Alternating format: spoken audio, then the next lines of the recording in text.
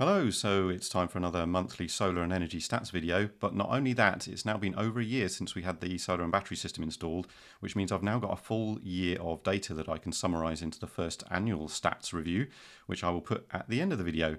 So as a quick reminder of our system, uh, please check out these two videos. We've got the solar and battery system and the air-to-air -air heating system. So check those out if you uh, want a summary. Those will be in the description for those of you who want to check those out. But uh, no, without further ado, let's go on with the monthly stats. So as always, we'll start with the monthly report from the GivEnergy web portal, which I generated just now. And you can see we've generated 408.7 kilowatt hours this month. We're actually starting to get a couple of days that are just peaking above 20 kilowatt hours per day. So that's really good to see. Um, obviously, there's still a few that are pretty rubbish, but as we move into spring, we're getting more and more good sunny days. So that's great. And if I scroll a little bit further down, you'll also see that our grid use is very slowly ticking down, getting lower and lower throughout the course of the month. And our export is actually starting to creep up a little bit. So we had a couple of days. I think this one might have been one of the DFS sessions, um, but uh, these later ones, these are um, just starting to peak through excess solar being exported during the day, um, which is great to see as well. So that will continue to improve um, during the rest of spring and into summer, which I'm look, very much looking forward to. And if I scroll up to the top, we've got my favorite little energy flow diagram here.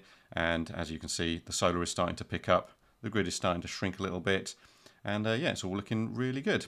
So how did that value of 408 kilowatt hours stack up against the PVGIS estimate that I've been using to assess the uh, performance of our solar system? Well, almost bang on the expected, which is um, quite surprising really. I've had some people say that um, March was a bit low for them, so uh, I'm uh, impressed that we managed to achieve what was ostensibly a pretty standard month for March. And here's our monthly consumption. You can see that we're starting to reduce the amount of heating that we're needing and even the amount of hot water that uh, that we used is a little bit lower. That's probably because we were away for a few days in March and that meant obviously we used a little bit less hot water and a little bit less heating. We did continue to run the heating a little bit while we were away um, just to keep the chill off so that uh, the house didn't cool down too much and when we got home we were able to um, heat the house back up nice and quick. Um, but uh, yeah, otherwise everything's pretty standard. 226 for our standard baseload house usage. 94 kilowatt hours for our EV, which um, is a little bit more than the previous month, but in line with um, most of the previous months um, before that.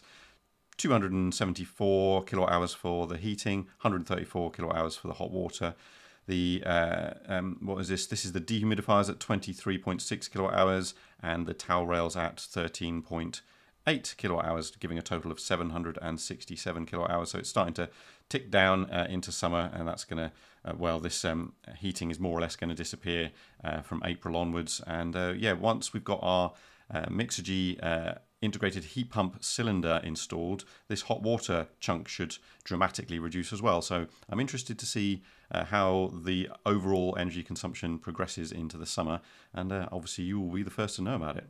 So as far as the heating is concerned, the value of 274 kilowatt hours was very slightly lower than what I would normally expect for this time of year in March. Um, but that was probably partly due to the fact that we were away for a few days, as I said. But also, in addition to that, it was very slightly milder than you'd normally expect for this time of year, with the temperature, temperature averaging across the month about one degree warmer for, uh, for our part of the world here in Gloucestershire. So that probably accounts for um, the uh, very slightly lower than expected uh, heating demand. So just before we move on to the annual summary, this is the monthly estimated savings for the last year's worth of data. And you can see that this month we saved £165 relative to what it would have cost us if we didn't have all of this uh, this system in place. So our actual bill is around £54, which is uh, starting to head towards the negative territory. I'm hoping that that will happen next month. Um, but our equivalent bill, which is what it would have cost us if we didn't have all the system, would have been £218. So uh, you can see that that uh, is a pretty decent saving once again.